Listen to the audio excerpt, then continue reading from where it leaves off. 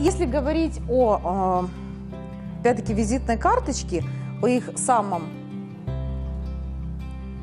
таком первом аромате и о душе марки, это, естественно, гиацинт и роза.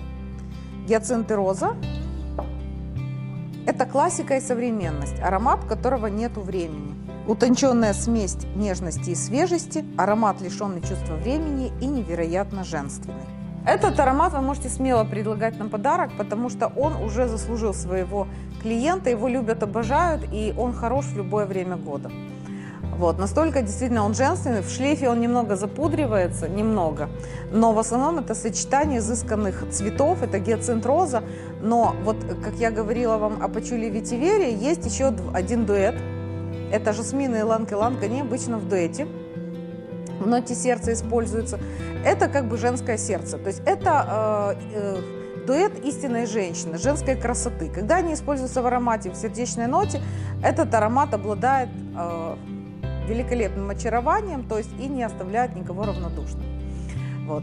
Оба классические афродизиаки, иланг, иланг и жасмин, они похожи по звучанию, но иланг более пряный, жасмин более медовый, но в дуэте они создают роскошное, роскошное звучание, поэтому э, очень часто мега женствен, женственные ароматы, мега очаровательные, они именно с этим дуэтом. Верхняя нота гиацинт и персиковый кустарник, сердце пион, роза, жасмин, иланг-иланг и база кедр, сандал, мускус и тиковое дерево. Именно гиацинт и роза – это их как бы визитная карточка, это то, э, сама философия и вот э, их аромат, который они обычно представляют.